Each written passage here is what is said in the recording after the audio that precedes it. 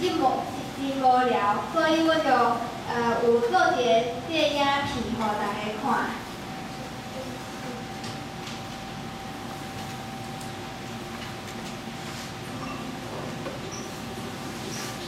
还是要看影片哦。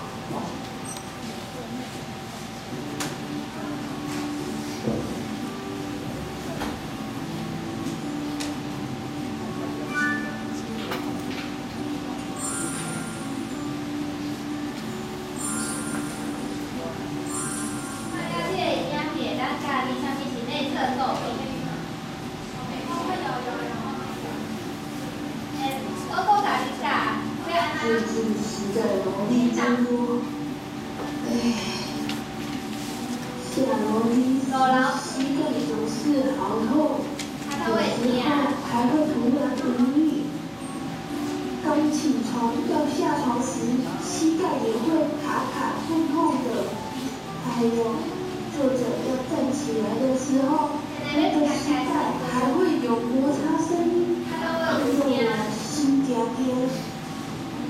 我是不是看一下医生比较好啊？妈妈，我是呼吸使者啦，听到你提到膝盖痛，我就来帮帮你。好啊，好啊。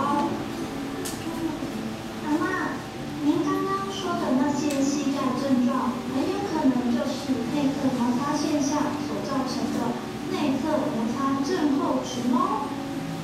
好，人家都说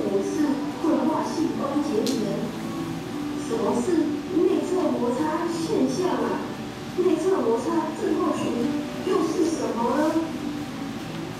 内侧摩擦现象主要是由内侧肉壁与关节软骨互相摩擦而产生的。日常生活中如果不去注意的话，就会慢慢形成内侧摩擦症候群，进而产生包括疼痛、紧绷的感觉哦。不过您不用担心，这个症候群是可以预防以及改善的。内侧摩内侧皱壁、内侧摩擦症候群，我怎么都没听过。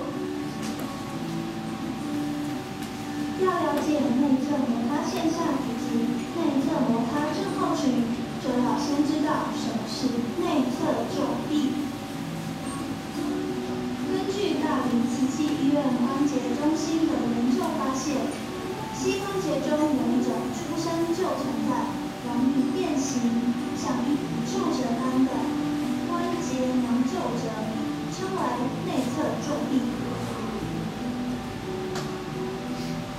侧、手臂在膝关节弯曲的时候，为我们的软骨不断的。